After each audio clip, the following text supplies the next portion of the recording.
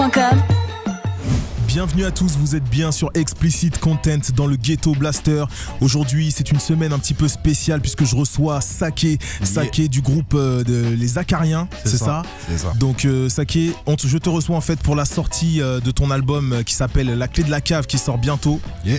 Donc euh, toute cette semaine, tu seras avec moi dans les studios de Goom Radio. C'est Jess au micro, j'ai oublié de me présenter. Donc Sake, on va commencer à parler de toi un petit peu euh, aujourd'hui, hein, euh, en ce lundi. Ouais. Sake, tu viens d'où? Alors moi je viens du 78, 50 ans en Yvelines, euh, plus précisément voisin. Ouais. Voilà, une petite ville des Yvelines. Parce qu'il me semble qu'il y a pas mal de mecs qui confondent et qui pensent que tu es des Ulysses. Ouais, ou ouais, du 91 souvent, Ouais. sachant que sachant que j'ai fait mes débuts dans le rap avec des rappeurs tels que Cynic ou Ultimatum qui sont euh, des Ulysses. Mhm. Donc euh, on a été euh, souvent souvent mélangés à ces artistes là en fait.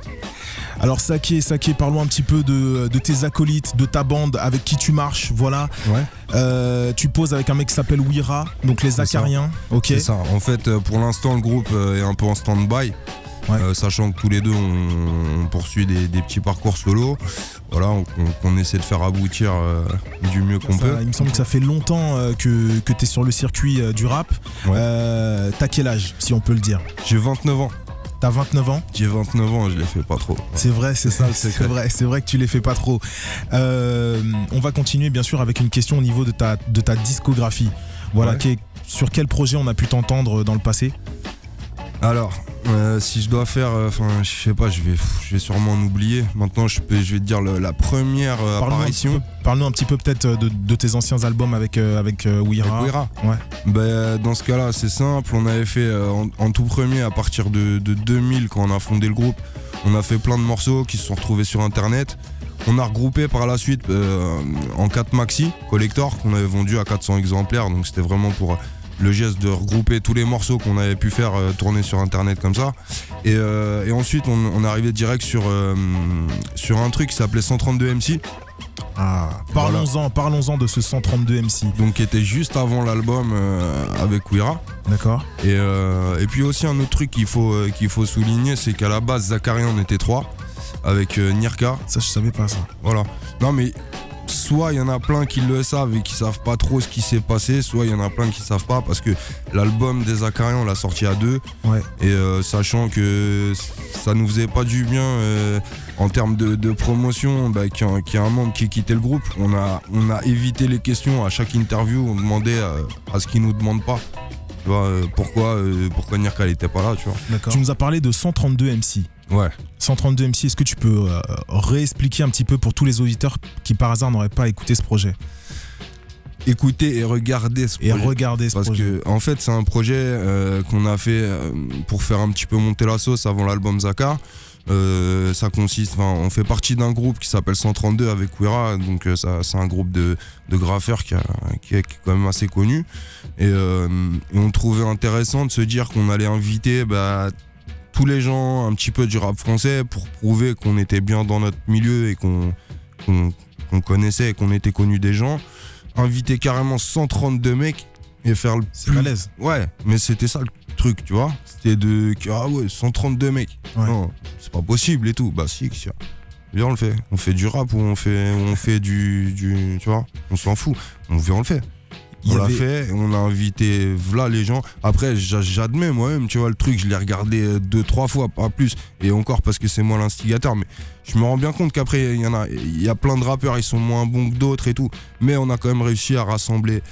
T'as vu euh, des fines plumes, il y a plein plein de têtes là-dedans. euh, Flint, euh, euh, Daddy Lorty, euh, Papi Fredo, pour à l'ancienne, tu vois, les, Ouais. les, les Anciens, il y a, il y a plein de mecs, il y a Serum, il y a. Voilà. Mais toi aussi, t'as- tu es, tu es dans le Ghetto Blaster toute cette semaine pour nous présenter euh, et pour parler un petit peu de La Clé de la Cave. C'est ton album qui sort, Ouais. qui sort, euh, on va dire, euh, sur le premier semestre 2011. C'est ça. C'est Ouais, ça. Premier semestre, on va essayer de, de sortir ça sur euh, ouais, les six premiers mois de, de 2011. Ça, c'est- on, on T'en va pas déborder. t'en es où déjà sur cet album? Bah, les auditeurs euh, et ceux qui, mes fans, ils, ils m'en veulent sûrement parce que je les fais attendre beaucoup. J'admets, ça fait un moment que je suis dessus. J'avais euh, prévu ça pour, euh, pour fin 2010. On a encore dû repousser. Euh, bah, le truc, c'est que c'est que qu'on bosse beaucoup, on bosse dur. Tu trouves que dans le rap, il y a beaucoup d'imposteurs? Bah. C'est ouais, c'est une bonne question. Ah, il réfléchit, il a pas envie de se brouiller. Non, c'est pas ça. C'est-à-dire qu'appel au vrai, dans, dans un premier temps, moi c'était appel aux vrais auditeurs. D'accord. Ok. Ouais. C'est-à-dire que euh, dedans, moi j'explique un petit peu la, la- la galère que c'est d'être un MC. Tu vois, je t'explique et tout, que je me tape des nuits blanches à me taper des cafés noirs sur ma feuille, enfin, ce genre de trucs. Et. euh, et. euh, merde, j'ai oublié ta question. Non, je te disais, euh, quand tu dis euh, appel au vrai, est-ce que tu trouves qu'il y a beaucoup Voilà, d'imposteurs voilà. dans le rap français? Ouais, non, enfin, pas d'imposteur. Maintenant, je dis juste qu'il y a beaucoup de facilité avec Internet, comme je te disais tout à l'heure, avec beaucoup de beatmakers qui font euh, de l'électro un peu facilement, tu vois, ils font, Ouais. ils font un beat avec, euh, avec, avec une Game Boy maintenant. Écoute, je te propose que qu'on passe au petit freestyle. Vas-y, avec plaisir. D'accord. Je vais, Si- je vais taper appel au vrai en, en live sur une prod Euh, non. Je te propose que tu nous fasses un petit, un petit live de On veut du rap. Ah ouais, avec plaisir. Ça te dit? Ça, ça me dit. ça me dit. Donc, euh, si monsieur Jonah peut nous envoyer la prod. C'est parti, voilà, vous êtes bien dans Ah. le Ghetto Blaster. C'est Jess au micro, vous êtes sur Explicit Content, c'est la semaine spéciale. Plus de volume. Sakezaka. 1989, c'était l'année de mes premiers pas hip-hop. À 8 ans, je me doutais pas que je rentrais dedans par la petite porte. Je me sapais comme Benepi, j'avais pas trempé mon skate. Je parcourais les rues de ma ville jusqu'au soir avec mon skate. Je me rappelle, les autres y jouaient encore au Playmobil. Moi, je découvrais tous les cadeaux que cette culture pouvait m'offrir. J'avais pas 13 balais la première fois que j'ai fait un tag. J'allais regarder les grandes chez moi vider leurs bombes au terrain vague. Ils écoutaient NTM, Ministère et la Clica. C'est à cette époque que j'ai connu ce que j'appelle moi du rap qui claque. Bah ouais, avec les potes, je mets de la zeb et disais de la bière. Quand j'ai essayé de rapper, j'ai pas de cacher que je disais de la merde. Ensuite, avec le temps, j'ai bien compris la valeur des choses. Conscient que je devais pas trouver le bonheur dans le malheur des autres. Bientôt, je vais rencontrer un gars de Paname, paraît même qui rappe. C'est le copain d'une copine de mon a- qui s'appelle Wira. Faut que ça pète, on veut du rap, on veut du vrai, oui ou non? Voir les frangines et les frangins bouger la tête. On veut de la frappe et on s'en tape de leurs histoires, vrai ou pas? On décompresse car la musique c'est fait pour ça. Faut que ça pète, on veut du rap, on veut du vrai, oui ou non?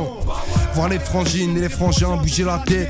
J'utilise pas mon rap pour raconter que je vais tout plier. C'est pas une arme, mais d'après moi, ce serait plutôt un bouclier. Moi, je m'inspire de mes anciens. Dans les vapeurs de mon gros joint, une des plus grandes de mes valeurs n'est que le respect de mon prochain. Rien à foutre de ta gonflette, moi, tes pecs ou tes dorsaux. Comment t'expliques que sur le net, ils téléchargent tous mes morceaux? Le hip-hop, c'est ma culture, fier d'en être un défenseur. Ici, ça rappe pour les petits frères, aussi bien que pour les grandes sœurs. Les graffeurs, les danseurs, DJ, satine plat. Ça devient rare de voir un clip comme à l'ancienne où ça tire pas. Triste époque, 2011, les rappeurs se fliquent entre eux sur la même vague. On aimerait bien que le voisinage finisse dans le creux, c'est chem.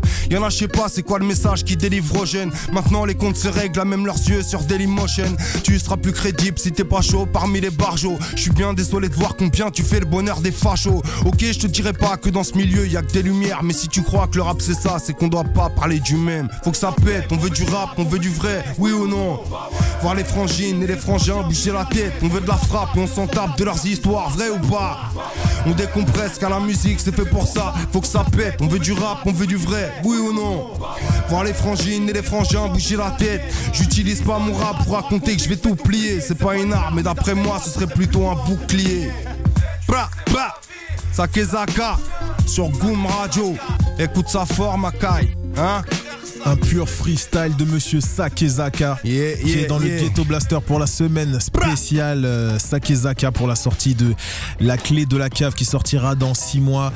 Euh, franchement, euh, c'est Un un, petit gros, peu avant même, hein. c'est un gros gros titre ça.